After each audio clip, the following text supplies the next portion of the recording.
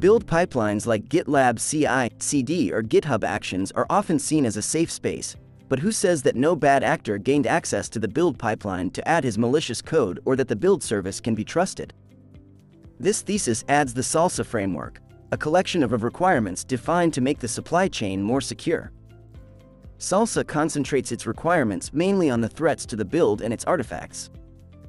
Suppose we have this usual build pipeline with a build job, a store job, and a deploy job. An attacker could just replace a generated artifact, and no one would know. SLSA requires that the build service creates a provenance attestation containing the build's metadata, like hashes of the generated artifacts. This makes it impossible to replace artifacts without replacing the provenance attestation. Then the attacker just replaces the artifact and the provenance attestation. For this, SLSA requires that the provenance attestation is signed on creation and verified before deployment, granting authenticity and integrity. But the attacker can still deploy the artifacts ignoring the verification step. The deployment is done in two steps. The first step store the artifacts and the provenance attestation to a package repository.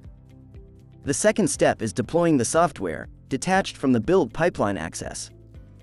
This is where the verification step is run. What if the attacker compromised a dependency?